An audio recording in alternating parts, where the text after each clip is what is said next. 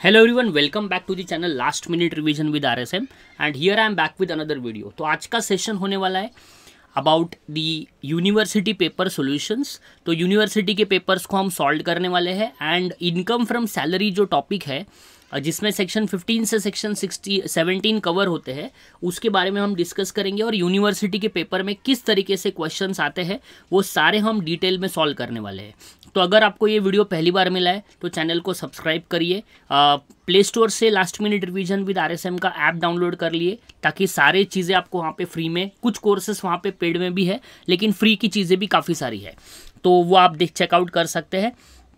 सबसे पहले अगर हम बात करें हेड्स ऑफ़ इनकम की तो हेड्स ऑफ़ इनकम में क्या क्या आता है? हेड्स ऑफ़ इनकम में सबसे पहला हेड्स ऑफ़ इनकम आता है सैलरी इनकम सेकंड जो आता है that is house property third जो आता है दैट इज़ पीजीपीपी पीजीपीपी का फुल फॉर्म क्या है? Profits and gains from business and profession उसके बाद आता है कैपिटल गेन्स और लास्ट में हमारा सोर्स है अदर सोर्सेस इसका मतलब total five heads of income है जिसी पे आपको क्वेश्चंस पूछे जाते हैं नॉर्मली एंड डायरेक्ट टैक्स में ये मेजर हेड्स ऑफ़ इनकम है salary house property business profession capital gain and other sources का पॉइंट्स ठीक है? तो अगर हम ओवरऑल सैलरी चैप्टर की बात करें तो जो जो इम्पोर्टेंट चीज़ें हैं वो मैं आपके साथ डिस्कस कर रहा हूँ। तो देखो, सबसे पहला जो इम्पोर्टेंट पॉइंट है that is about the first part and that relates with deduction तो डिडक्शन सबसे इंपॉर्टेंट है। अगर हम डिडक्शंस की बात करें तो देखो डिडक्शंस में ना टोटल तीन डिडक्शंस आते हैं। सबसे पहले आपको चीज़ क्या याद रखनी है? डिडक्शंस में सेक्शन 16 के अंदर सारे डिडक्शंस है।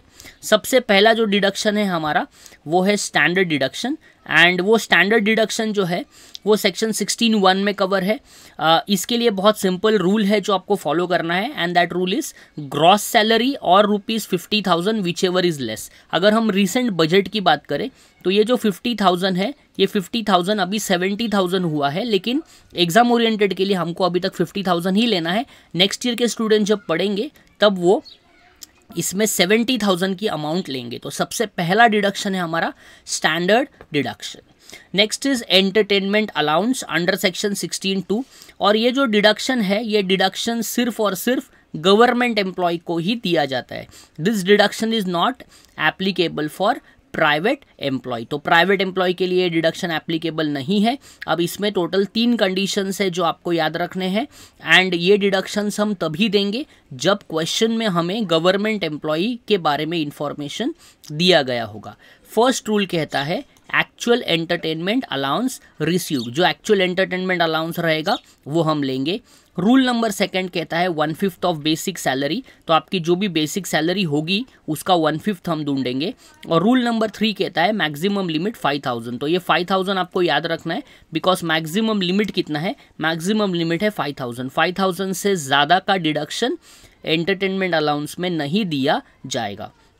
फिर नोट क्या लिखा है? Whichever is less is deducted तो हमको ये तीन अमाउंट्स को कंपेयर करना है फ़र्स्ट पॉइंट को देन सेकेंड पॉइंट को एंड हमारा मैक्सिमम लिमिट फाइव थाउज़ेंड ये तीनों को जब हम कंपेयर करेंगे, तब हमें तीनों को कंपेयर करने के बाद जो स्मॉलेस्ट अमाउंट है, वो हमारा डिडक्शन हो जाएगा. And this deduction will be applicable for government employee only तीसरा और आखिरी डिडक्शन है हमारा प्रोफेशन टैक्स तो प्रोफेशन टैक्स का जो सेक्शन है ये है सेक्शन सिक्सटीन थ्री का एंड ये गवर्नमेंट एम्प्लॉय हो, चाहे प्राइवेट एम्प्लॉय हो usually two thousand five hundred ये आपको अमाउंट याद रखनी है। क्वेश्चन में दिया जाएगा अमाउंट तो दो हज़ार पाँच सौ पूरे साल का प्रोफेशन टैक्स जो है, वो कटता है सैलरी में से एंड उतना पॉइंट आपका प्रोफेशन टैक्स हो जाएगा।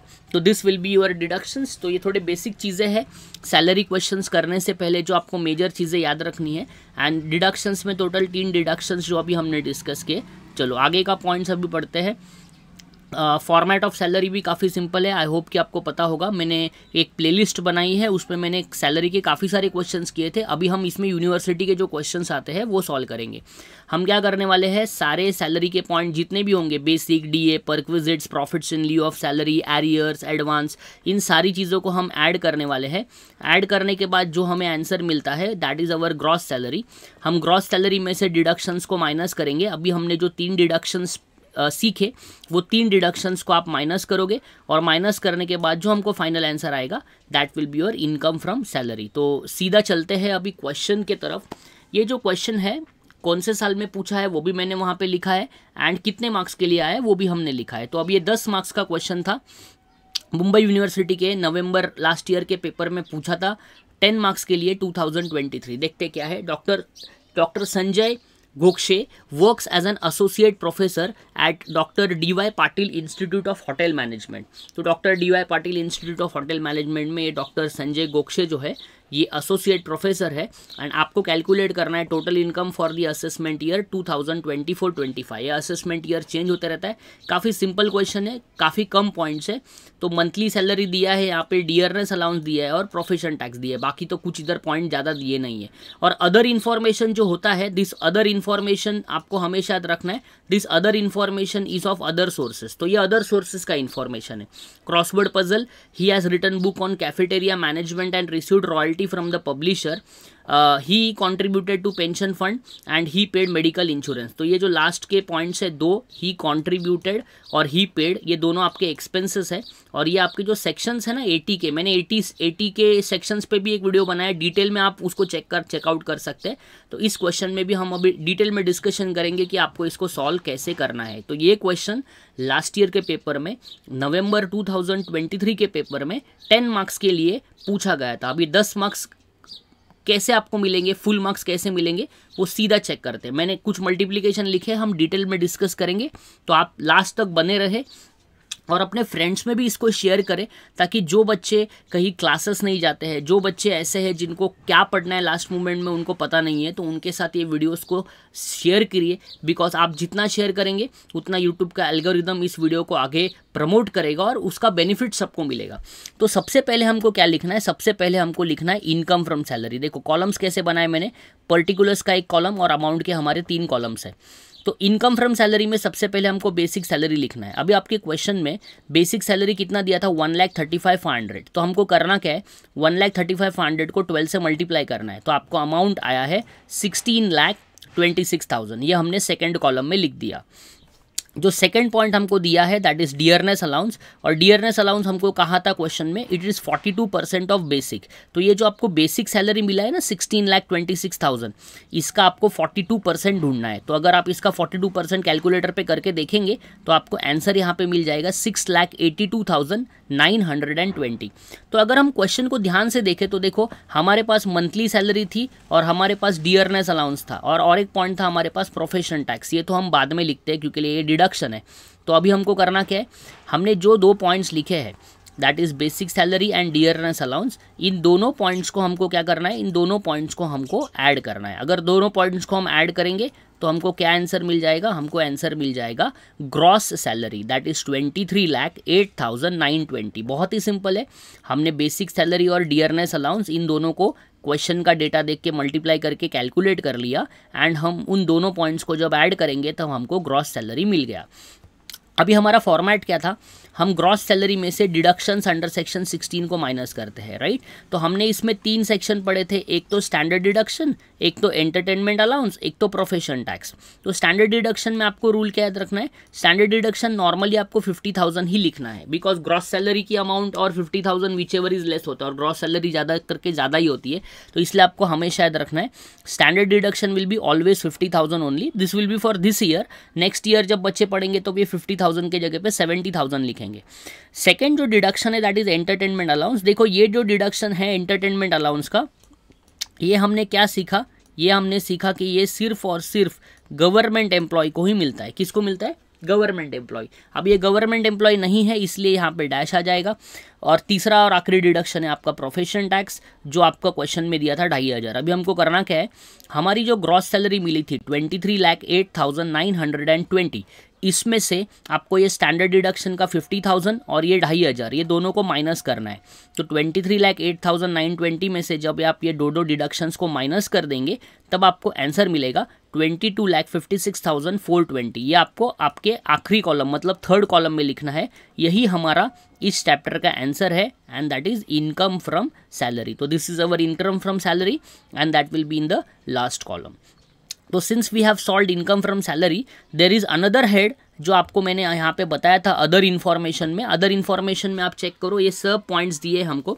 और अदर इन्फॉर्मेशन में जब कभी ऐसा पॉइंट आएगा कि ही कॉन्ट्रीब्यूटेड ही पेड तो that will be expenses and expenses वो फिर एटी के सेक्शन में आपके आ जाएगी। देखो इनकम फ्रॉम अदर सोर्स ये हमारा सबसे पहला हेडिंग है। इसके अंदर सबसे पहला पॉइंट है इनकम फ्रॉम क्रॉसवर्ड पजल तो मैं इसके बारे में और और दो तीन पॉइंट्स आपको बता देता हूँ। देखो income from crossword puzzle income from lottery income from horse race income from reality shows all this points are directly taxable तो ये सीधा हमने सेकेंड कॉलम में फिफ्टी नाइन थाउज़ेंड लिख दिया। देन उसने जो एक बुक पब्लिश किया था तो उससे उसको रॉयल्टी मिला। तो रॉयल्टी फ्रॉम द पब्लिशर कितना मिला? सिक्सटी सेवन थाउज़ेंड तो रॉयल्टी फ्रॉम पब्लिशर है सिक्सटी सेवन थाउज़ेंड वो भी मैंने सेकेंड कॉलम में लिख दिया है। अगले पॉइंट्स में जाते हैं तो अभी दो पॉइंट्स हैं हमारे पास अदर सोर्सेज के। हमने क्या किया? अदर सोर्सेज के जो दो पॉइंट लिखे आपने फिफ्टी नाइन थाउज़ेंड और सिक्सटी सेवन थाउज़ेंड उनको प्लस किया। जब हमने उनको प्लस किया, तब हमको आंसर मिला एंड दैट आंसर हमने थर्ड कॉलम में लिख दिया that is one lakh twenty six thousand और ये हमारा इस हेड का आंसर है that is income from other sources देखो, हमने सबसे पहले सैलरी कैलकुलेट की, उसको हमने थर्ड कॉलम में लिखा, अब हमने अदर सोर्स कैलकुलेट किया, अब उसको हमने थर्ड कॉलम में लिखा। अभी आपको करना क्या है, जो भी आपका सैलरी का आंसर था, एक बार चेक कर लेते देखो सैलरी का आंसर कितना था हमारे पास? Twenty two lakh fifty six thousand four hundred and twenty तो twenty two lakh fifty six thousand four twenty जो है, वो आपका सैलरी था। और इसके बाद अगर आप यहाँ पे चेक करो तो यहाँ पे आपका अदर सोर्स कितना है? अदर सोर्स है आपका one lakh twenty six thousand तो अदर सोर्स मिलने के बाद हमको वो सैलरी में अदर सोर्सेज को प्लस करना है। इधर मैंने मेंशन किया ताकि आप कंफ्यूज ना हो। तो ग्रॉस टोटल इनकम मिलेगा। Gross total income will be salary plus other sources and ये आपका आंसर मिल गया थर्ड कॉलम में twenty three lakh eighty two thousand four hundred and twenty तो this is our gross total income this is our GTI इसके बाद हम finally क्या करते हैं? Less deductions under chapter six से। अभी एक बार चेक कर लेते हैं। इसमें आपको शायद कन्फ्यूज़न हो सकता है, लेकिन मैंने एक वीडियो बनाया डिटेल में। आप डिडक्शंस का एक वीडियो देख लेना, उसमें सारे डिडक्शंस है। कौन से सेक्शन में कौन सा पॉइंट आता है?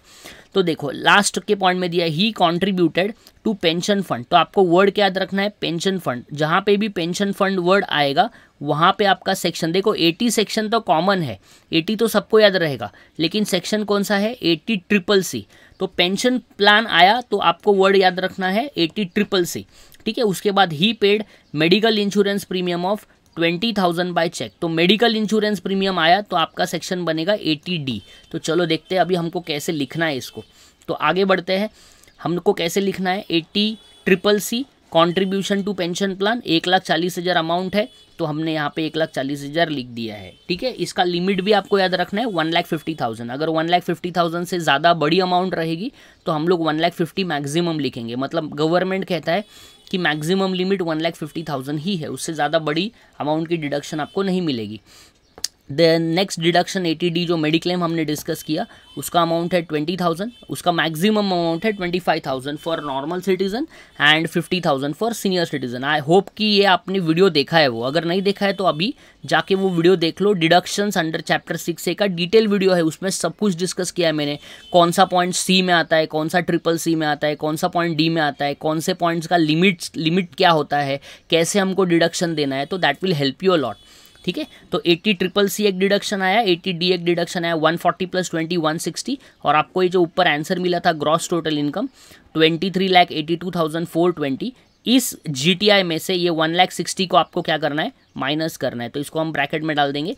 तो twenty three lakh eighty two thousand four twenty में से जब हम वन लैख सिक्सटी थाउज़ेंड को माइनस करेंगे, तब हमको फाइनल आंसर आएगा हमारा twenty two lakh twenty two thousand four twenty और ये हमारा हमारा फाइनल आंसर है and this final answer is called as net taxable income इसको शॉर्ट में हम एन टी आई भी कह सकते हैं। तो this is N T I net taxable income तो this was the question which was asked in the university paper of November 2023 but this question was a small question and this was for 10 marks. तो काफ़ी simple question था।